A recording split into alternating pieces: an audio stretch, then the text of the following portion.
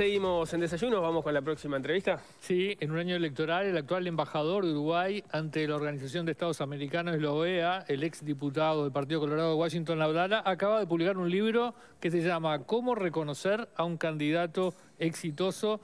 Es literatura ideal para una campaña electoral, para hablar de este tema y otros que hacen a la actividad de la OEA también. Recibimos a Washington Abdala embajador uruguayo ante la Organización de Estados Americanos. Bienvenido. Bienvenido. Buenos días. Muchísimas gracias. Eh, antes de, hablar del libro, que es el motivo por el cual lo hemos invitado, no es una celada, pero me parece que hay que hacer alguna, alguna referencia a la situación que se está dando en el marco de la OEA entre dos estados que la integran, eh, Ecuador y México, esa situación tensa en la cual la policía de Ecuador entró a la embajada mexicana y ambos países rompieron relaciones, y un comunicado que sacó la Cancillería Uruguaya que ha generado algunas rispideces, algunos ruidos. No sé cómo analiza el tema, en cuánto puede decir, porque sé que la Cancillería tampoco eh, permite que cada embajador diga lo que le parece. No, claro que no. No, me, refiero, no tengo libertad, pero me manejo en los parámetros del, comunicado. No, lo, primero es que el derecho internacional, el tema de la, inviolabilidad de las sedes, es un principio Fuerte. rector porque, porque desde las convenciones del 61, 62, a ver, este, ese es un principio claro, el asilo diplomático es, es, un instituto que en general tiene una enorme importancia. El comunicado lo reconoce. Exactamente, el comunicado lo reconoce y desde ese lugar del comunicado mañana va a haber creo que una sesión en el Consejo Permanente de la OEA y el miércoles en la CELAC. Eh, que es el, otro ámbito continental. Me, casi que puedo redactarlo mentalmente lo que va a suceder allí. No lo puedo decir, pero estoy seguro de lo que va a haber y, va a ir en coincidencia con el, comunicado. ¿no? porque, porque, es una enorme preocupación la inviolabilidad y, no afectación de las sedes diplomáticas. Se hace como un... Esto es reaburrido, pero es como si fuera una clase de facultad, lo digo así. Hay como una ficción jurídica en una sede diplomática. Es como que ingresás a un territorio que no es jurisdicción nacional. Eh, insisto, no me quiero meter en este tema. Uruguay ha tenido antecedentes de, a eso iba, ¿no? El, caso muy sonado de la dictadura, de cuando la Fuerza de Seguridad entraron en la embajada venezolana a arrestar a Elena Quintero, exactamente. que motivó que Venezuela rompiera relaciones, que recién volvieron a restablecerse cuando Sanguinetti gana en el 85, cuando Uruguay recupera la democracia. Exactamente. No hay muchos antecedentes en el mundo bueno, no, hay, antecedentes de respeto. Por ejemplo, Aya de la Torre tuvo, estuvo asilado mucho tiempo y, con todo el respeto del mundo. Claro, que... se respeta el asilo como un instituto este, central. Y Ecuador lo sabe porque tuvo en su embajada en Londres este, no sé cuántos años a Assange. Exactamente. Entonces, este, está bien, este, el debate de Ecuador, ayer yo miraba el, comunicado de la, de la canciller de Ecuador, seguramente ya va a estribar allí, es, bueno, no, pero el asilo es para personas bajo un contexto político, no para delincuentes, papá, papá. Bueno, ese ya será un tema para otro territorio. Ese va a ser el punto de Ecuador. Calculo yo que será el punto de Ecuador. Porque, insisto, fue el comunicado que vi ayer en la noche. Pero hay siempre otros mecanismos que no pasan por entrar a la embajada, digamos. No, pero eh, eh, lo, que, lo que debería quedar claro, para no aburrirlo al televidente con esto, es cuando vos ingresás al territorio de una embajada, entraste al país. Entraste al país. Y ahí lo que estás es encriptado. Le puede no gustar al país residente, pero estás encriptado. Entonces la decisión de eventualmente sacar a la persona es una decisión que se hace en diálogo con la embajada, que es la que tiene en alguna medida la jurisdicción, la competencia ahí adentro. Esa es la realidad. O sea, es análogo a una invasión. Eh, una invasión eh, implica un acto... Eh, acá lo que pasa es que hubo otro elemento. Me, van a tirar de orejas en la Cancillería. Acá hubo otros, elementos. Hubo forcejeos. Por eso. Que lo hace más complejo el asunto. Porque si vos me decís, bueno, de repente salió, fue... No, el uso de la fuerza allí es toda una complicación. Vamos a ver cómo se analiza y vamos a ver las explicaciones que cada uno da. Yo qué sé. Muy bien. Hablemos de, Vamos al libro. del libro. Bueno, maldita política, ¿cómo reconocer un candidato exitoso? Me imagino que el maldita política tiene cierta cuota de ironía, porque si algo le debe gustar a Washington Sí, sí. Abdala es la política, ¿no? Sí, Y la ironía. Sí, Y la sí. ironía, ironía. claro. Un poco, un poco. Eh, bueno, ¿por, por qué escribir un libro como este que eh, lo, lo presentás como una especie de manual, a ver si lo digo bien, un manual para el, el- en realidad para el, el- el votante o el ciudadano de reconocer a un candidato que se guía o no por, no sé, yo lo, resumo en, en- en buenas prácticas o prácticas asertivas, si se quiere, desde el punto de vista del éxito el- electoral, pero bueno, ¿cuál era el sentido que vos le buscabas? Es más o menos eso, porque me parece que, eh, un veterano que, que vio muchas campañas, que de repente trabajó en algunas cuantas y que participó en otras mirándolas en el continente y, y ahora desde Estados Unidos que, que se te amplía el foco, de repente lo que fui es empezando a hacer como un- una, una lista y la fui chequeando, de a ver los temas que no habría que hacer y lo que habría que hacer. Y el libro en realidad lo que busca es eso, es hacer un recorrido sobre 20, 22 buenas prácticas, llamale prácticas o llamale no errores, o llamale no macaneos. Y todo en, en- en la búsqueda de, de que un candidato, para, para mí, ¿no? Se, se presente de la manera más auténtica posible y le vaya lo mejor posible. Y allí hay elementos delicadísimos que tienen que ver con lo emocional. Cuando ustedes estaban acá entre- entrevistando a Mieres, hay un componente lógico-racional de la conversación que van manteniendo con él, pero hay un componente emotivo, emocional, que el televidente es casi que te diría que es lo que percibe gruesamente.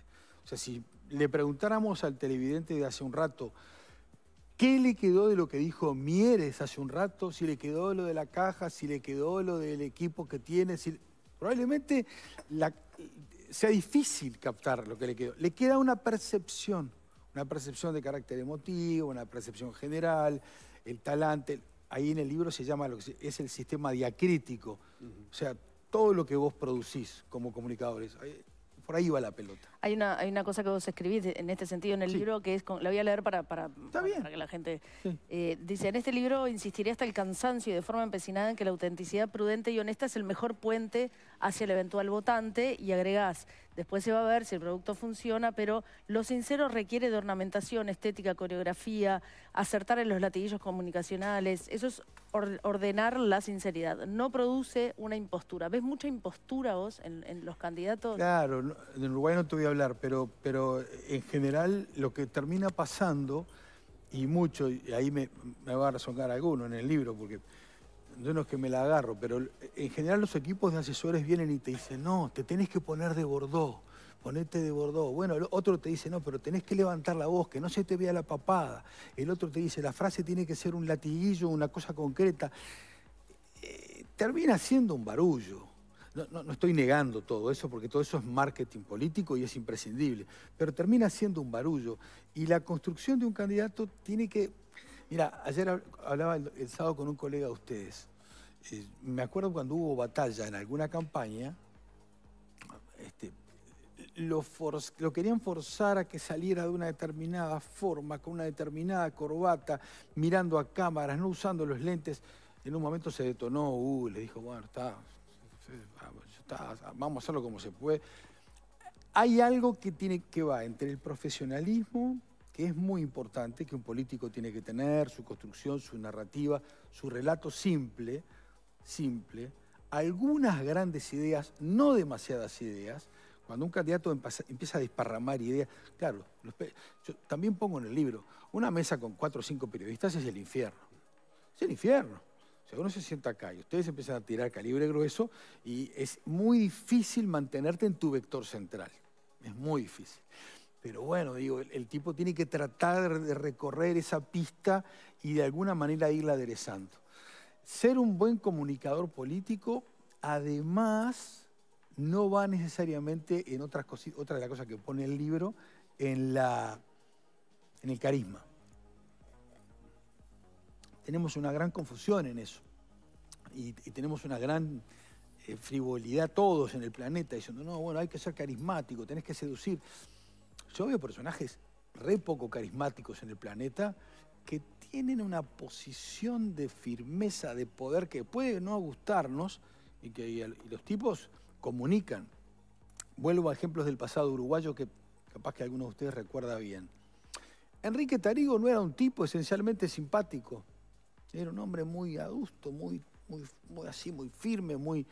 Y sin embargo era un gran presidente y era un gran político.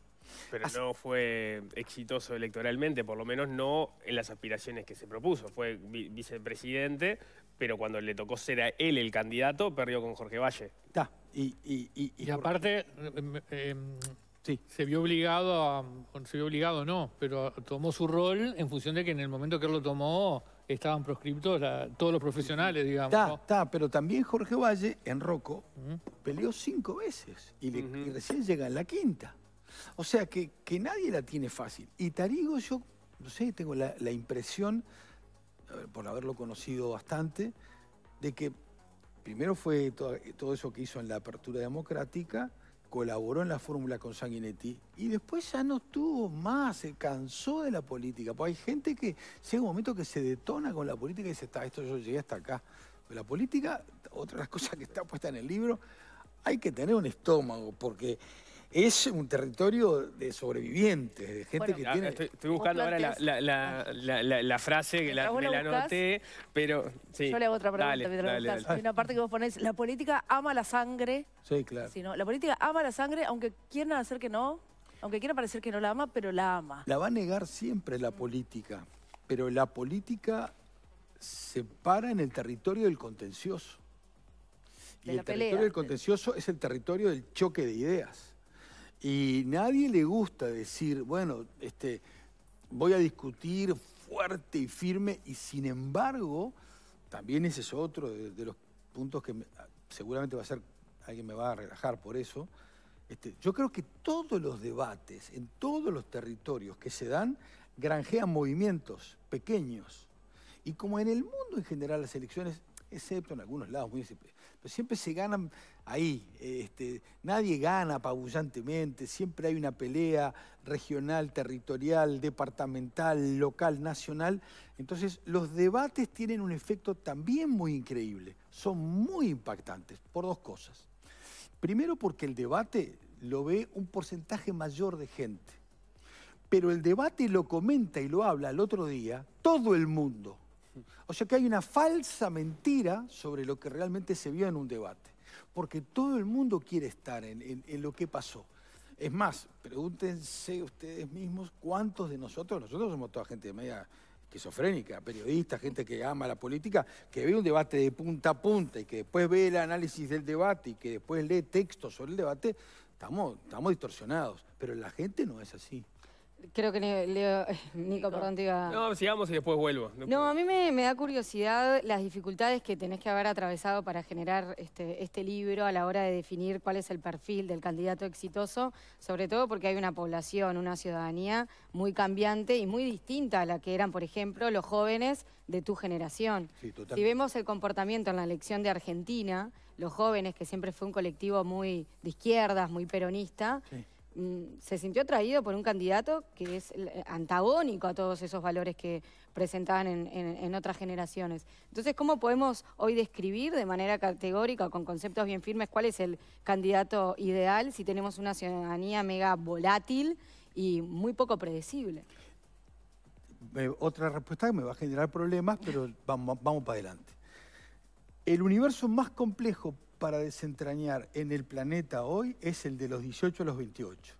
Básicamente porque el, de los 18 a los 28 no te contesta el teléfono. Y generalmente si les hablas no, no tienen mucho interés de conversar contigo y conmigo de política. Entonces viene un encuestador y les pregunta, ¿qué vas a votar? Mm, ¿Quién sos vos? No sé quién sos vos. ¿Vos qué, qué, te tengo que contar? Entonces ese universo está desencadenando un en, en un montón de lados eso que tú estás diciendo con mucha precisión. Hay como segmentos que vos los podés más o menos pronosticar. Hubo el otro día una mesa entre Eduardo Botinelli, Pomies y, y Mitzrahi. Y trabajaban sobre este punto en la ORT. Trabajaban sobre, uno de los puntos que trabajaban sobre, sobre este punto. Yo, creo que los candidatos ideales no, no existen en cuanto tal existen por segmentos, existen por tratos sociales, existen por dimensiones valorativas. Lo que pasa es que para construir un candidato ideal, lo que tenés es que tratar de ir evitando errores. Y el candidato ideal es el que, de, alguna forma, este, junta más puntos en esa línea de no cometer errores. Porque hay un dato, no hay campaña electoral donde los tipos no, o, las, mujeres, mujeres que no cometan errores. Es inevitable cometer errores. El tema es si el error tiene un calibre que te enrieda o el error es un error que puede pasar. Y ahí le pongo otro tema que se llama, que es muy interesante, que se ve mucho en el político, sobre todo el político americano, la caja china. El político que se mete en un ruido y está en un lío, automáticamente tiene la capacidad de desplazarse hacia otro ruido y lío y lo monta, él mismo lo monta, para salirse del problema en el que está. Entonces se va al otro territorio y se corre y y, todo el sistema comunicacional dice, pero, ¿y este lío? que No, ahora ya estamos en este otro lío. Y si este lío le cuesta mucho, sube otro y hay como una escalada. Eh, porque la política tiene mucho de aquello del arte de la guerra, ¿no? de, Sun Tzu. Es triste compararlo, pero, pero tiene mucho de, desplazamientos tácticos y estratégicos. No son solo los errores que pueda cometer el propio candidato, sino la visión estratégica de poder capitalizar el error que comete tu adversario, que en definitiva capaz mucho del fenómeno Milley se ubica en haber, haber reaccionado a tiempo a, dificultades que tuvo el gobierno kirchnerista, ¿no? También me voy a manejar con mucho cuidado porque, porque por respeto y, por, el laburo y la posición. Cuando se produce, el, vuelvo al debate para, para, no, para, contestar lo que estás diciendo. Yo tengo un gran amigo en el, en el gobierno argentino, ministro, este, y le escribo en esa noche, le digo, oh, ¿y esto? Y dice, está bueno, qué difícil, ¿cómo? Cuidado, le digo, porque que, eh, los debates se ganan y se pierden, se pierden y se ganan. Y a veces el que lo pierde lo gana y a veces el que cree que lo gana lo pierde. Entonces le ponía algún ejemplo de casos uruguayos, de casos centroamericanos que conocía mucho y de algunos casos también norteamericanos. Eh, la gente normalmente se ubica, de, vuelvo a lo emocional, con enganches emocionales.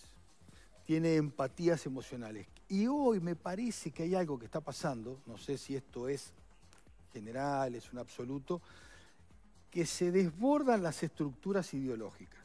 O sea, este, no quiere decir que no exista la estructura ideológica, porque la gente que se siente de derecha se siente de derecha, la gente que se siente de izquierda se siente de izquierda, pero las fidelizaciones a esos universos en alguna medida van decreciendo y queda más un territorio como desamparado. Entonces, es como que hay mucha más movilidad, más pendulación.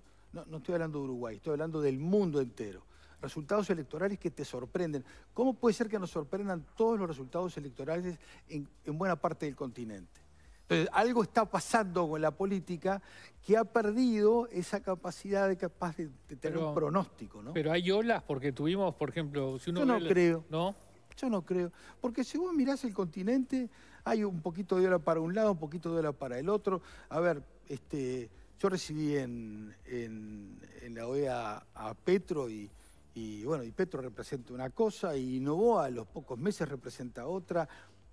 Yo, a veces uno siente que cree que hay un momento de ola, pero en realidad... Pero hubo olas, porque tuvimos... Hubo olas. Y entonces, ¿qué, pasa que no...? Porque en los 60 hubo guerrillas en todos lados, después hubo dictaduras militares en todos lados. Eso es más después salimos con gobiernos de centro, centro derecha. Después fuimos todos a la, centro izquierda. antes al neoliberalismo, todos juntos también. Sí. Entonces, ahora, ¿por qué no hay olas? ¿Qué cambió que.? Para, mí es que, por, primero que la política me, da la impresión de que tiene un grado de fragmentación en todos lados muy grande. segundo, que no tiene el nivel de atención que tenía en otras décadas. Creo que compite con otros niveles de atención. Tercero, que por alguna razón no tiene el nivel de ELAM. A ver, eh, los más veteranos, este, nosotros mirábamos la política de, otras épocas con un grado de admiración, idolatría, con un grado de decir, bueno, acá vienen poco menos que salvadores. Hoy ya aprendimos que en realidad nos salvamos nosotros como sociedad, cada uno se salva como sociedad a sí mismo. Y a veces los candidatos más atractivos son los que no vienen del universo político, ¿no? O sea, esa, esa percepción cambió En radicalmente. el libro te pongo una cosa que tiene que ver con el historial. Yo no creo que el candidato que, que venga de la nada pueda irrumpir.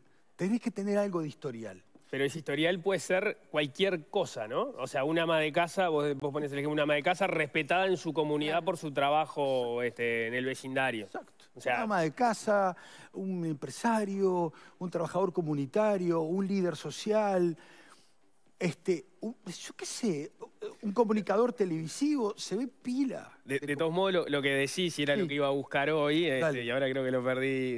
No. Está lleno en el mundo de seres a los que van a buscar para ingresarlos en la política, que tenían prestigio en sus roles académicos o empresariales, y el mundo de los actos políticos, de las entrevistas y el circo que los rodea a la política dura, los devora y los destroza. Sin embargo, el político profesional sí está preparado para soportar la guerra y ser arrastrado hasta las cloacas y después emerger como si nada hubiera ocurrido. Los políticos profesionales tienen una condición de soportar la vejación y el castigo en la opinión pública que no posee el advenedizo. ¿no? Que de hecho en la política local hemos visto algunos casos de eso, ¿no? De gente que llega afuera y eh, la política le resulta muy dura. Muy dura. Y, y la política es, es- es como el dios Cronos que se come a sus propios hijos. O sea, es, es durísima. Por eso cuando uno mira, y esto es un saludo a la bandera con respeto, cuando uno mira a los expresidentes uruguayos en sus presentaciones o en el exterior o en lo nacional, uno los ve y dice, es- es- han pasado todo, ¿eh? Estos eh, eh, eh, son de amianto. O sea, uno los mira y dice, "Eh, los tipos los sentís hablar y vos sabés que tienen un- dimensiones cognitivas distintas, discrepancias, visiones filosóficas, pero son de amianto. Y han logrado una construcción, pero esa no es la regla. Porque la, la regla en general, cuando vos mirás adentro de las... El concepto clase política, que, que Milei lo utiliza de casta, viene de un pensador eh, italiano que se llamaba Gaetano Mosca. No los aburro, pero es una clase de ciencia política típica que nosotros damos. Gaetano Mosca y Vilfredo Pareto son los tipos que inventaron lo que se llama la teoría de la circulación de las élites. El tipo di- dicho en español es, las élites que van a gobernarte tu país son tu rostro y el rostro de la sociedad se parece al de la élite. Entonces, de alguna manera, eso a veces no- nos lo cuesta, nos cuesta verlo, digo, ta, digo, este, y, y- y el concepto eh, clase política eh, es un concepto que la gente no simpatiza con él, pero bueno, viene de hace mil años. Dijiste varias veces en esta entrevista, por lo menos dos, no los aburro, pero... Y es algo que también en tus redes sociales vos solés, este, o, o hace- hiciste un posteo, lo acuerdo- me acuerdo perfecto, Sí. que decía, no aburras, le decías a los candidatos. Claro. Pero cómo, lo entiendo, entiendo dónde vas con eso, pero ¿cómo hacer en todo caso para no aburrir cuando tenés que hablar sobre temas eh, que para la, la población son muy importantes, pero a la vez son áridos, son duros y vos tenés que hacer que la gente te entienda? ¿Cómo haces para no para, aburrir? para mí lo más importante es saber los públicos en los que estás, tener clara la segmentación. Ponele, un programa como el de ustedes. Tienen ustedes claramente, lo estoy seguro que lo tienen en la cabeza, el público, el segmento, la gente, el tramo etario, la edad y hasta el perfil más o menos social de los que los están mirando. Vos tenés que saber eso. Si vos te parás acá y vas a hacer una, una- charla de, hegeliana y la vas a quedar, a la media hora no te van a dar bolilla. Vos tenés que tener claro tus nichos. Entonces, tener claro tus nichos, tus segmentos, implica que de alguna forma, sin falsearte a vos misma, vos interpretes tu narrativa en, e- en ese público al que te, estás dirigiendo. Y bueno, la claridad es importantísima. Porque los públicos en general este, tienden a aburrirse. El el público en general, la ciudadanía tiende a aburrirse. Entonces, claro, tú, mira, no, el político no tiene que venir vestido como cuando yo hacía stand-up. este, no, no, se trata de eso. Pero se trata en alguna medida de lo más natural y simple. Eh, uno de los atributos que tienen, pues, préstenle atención a esto porque es re lindo. Todos los presidentes norteamericanos, yo los miro a todos, los estudio a todos, los que estaban, los que estuvieron, todos hablan muy claro, hasta los que los, los critican, muy, muy claro. Y si ustedes miran nuestros presidentes, los ex y el actual, todos hablan claro. Eso es un detalle no menor. O sea, nadie te lo dice, pero la claridad, la simpleza, una narra- Porque hablar claro no quiere decir hablar poquito. De repente podés tener un relato, una narrativa, estar conversando, hablando. Hablar de que, de que se te entienda hacia dónde vas y sobre todo la línea, la, la orientación en la que estás, para no desparramar a la gente. Porque la gente se te escapa rápidamente, se aburre muy rápidamente. Y con la política es dificilísimo. Me no les pensando- nada del trabajo, todas, todas las mañanas de estar navegando. Y sobre todo a esta hora, pero bueno. me quedé pensando en esa política devoradora de... de- ¿Cómo se traga al- Sí, ¿cómo se a sus hijos? Exacto. Entonces las series que, eh, que tenemos sobre política en la televisión, House of Cards o la dinamarquesa Borgen, ¿son realmente un rostro, son fieles a lo que es la política? En parte sí. eh. No, no, no, no- creo que en Uruguay, porque las patologías de Uruguay, yo tengo un, libro que le fue muy bien hace un montón de años, un libro sobre corrupción. Este, cuando yo lo publiqué me bailaron un malambo. No, porque, eh, no, el Uruguay, no, no, Uruguay es como todo el mundo, pasan cosas como pasan en todos lados. Este, me acuerdo este, que, que fui a una entrevista con Sonia Brescia y, y Sonia me tironeaba, pero ¿estás seguro de esto que fui? Sí, la verdad que sí, Sonia, digo, hay microcorrupciones, hay macrocorrupciones. A ver, este, Pero nos encanta el relato de la excepcionalidad uruguaya. es un poco, tenemos un poco esa liturgia. Hay algo de cierto, porque eso que decía Mieres hace un rato, vos nos comparás a nosotros en términos de estabilidad democrática, de Estado de Derecho, de libertad de expresión, y sí, es un dato objetivo. Somos bastante este, oxigenados en relación a la región. Pero bueno, digo, Pero, por ejemplo, cuando hablamos de corrupción, a veces queda la duda, es... ¿Hay tanta menos corrupción o es que no hablamos de corrupción o no O la es- investigamos o, o- o- o es- o cuando alguien hace un libro sobre ella le Sí. decimos estás equivocado? No, o, pasa también que, que el país es más chiquito y la corrupción es más pequeña. La tesis de ese libro, que, fue un buen libro para mí, era que el Uruguay tenía microcorrupción importante y que todos la permitíamos. Entonces yo me permitía la licencia en esa época. Espero que nadie se enoje porque tiene un libro más viejo que la vida. Este, a ver, en aquella época nadie sentía que los temas de frontera eran de corrupción. Nadie sentía que ese tipo de... Pero son, eh, eran, está fenómeno, digo. eh, las sociedades cambian, maduran, lo que decía Mieres también, vas mejorando en, tu condición de, exigencia en torno a la transparencia, le vas pidiendo más a los políticos, va cambiando. el las sociedades mutan, ¿viste? Eso supuestamente es para mejorarlas. Ahí donde vivo yo en Estados Unidos eh, es raro, porque eh, de vez en cuando estallan fenómenos de corrupción y el político explota por los aires, ¡blum! Pero hace una cosa muy rara, va a la tele, pide disculpas, a veces lo hace con sus compañeras, con su señor, y es como que, como que las aguas se serenan. Es raro. Este, eh, tienen, ahí tenemos idiosincrasias distintas. Porque también las políticas obedecen en alguna medida a nuestras distintas formas de ser. Yo convivo mucho con, países que, por ejemplo, con Guatemala hemos trabajado mucho ahí en la OEA. Nos fue bien en un proceso de, transición hacia la, democracia en Guatemala. Estaban en una democracia, pero tenían unos problemas de imperfección. Y el presidente que llegó es un presidente que tiene algo muy uruguayo, porque ha vivido, estuvo acá. Entonces también depende de, la construcción de la política. La política en otros lados es muy pasional. Hay lugares donde la política corre riesgo de vida real en el continente. Quiero preguntarte, porque nos queda poquito tiempo, pero vos has participado mucho en política, en Partido Colorado, eras el- el soldado del foro, todo el mundo te conocía de esa sí. manera. Eh, Eh, no, no me lo voy a sacar más. eh. Nunca. ¿Cuánto, ¿Cuánto podés en tu rol eh, como eh, ahora en la OEA, cuánto podés hablar del Partido Colorado? O sea, ¿te puedo preguntar cómo estás viendo ahora el Partido Colorado? No, yo, yo- No podés. so- so- soy un desterrado, ¿eh? digo, es el Partido Colorado de otras épocas, diga- digamos la verdad. Este, no, no, no, No. no, no, no, No podés. No puedo, no. no. Ese sí que fue un latiguillo exitoso. ¿Cuál? El, del soldado, del foro. Ese- ¿Les interesa la anécdota? Sí. Es así, Pancho Bernaza, también eh, publicista de, de, em, de- de de- de- Mujica. de Sanguinetti. De- Mujica. Mujica- de Mujica. Yo tenía muy, po- muy poca plata. en esta elección. Da, muy poca plata en aquella campaña y yo lo quería mucho a Pancho, lo conocía del sector privado de, de una empresa profesional que yo trabajaba, que era, que era dueño de una empresa y, lo fui a ver y le dije, mirá, tengo tres mangos, yo qué sé. Entonces Pancho, que es un tipo muy genio, porque sabe de lo electoral, sabe de sociología, sabe de publicidad, me dice, bueno, déjame pensar. A los tres días vine y me dice, mirá, vamos a hacer esto, no sé qué cuestión. Pero, ¿Vos cuánto tenés? Tres mangos tenía. Yo dije, bueno, yo te, yo te voy a mostrar algo, te dice. A ver. Mirá esto. El soldado. ¿Y esto qué es? Me dice, mirá, con esto ganar vas a ganar. Ahora no te la sacás nunca más. eh". Digo, Con esto te lo llevas a la tumba, te lo van a poner en la tumba. Le digo, ¿estás seguro, Pancho? Sí, dale para adelante.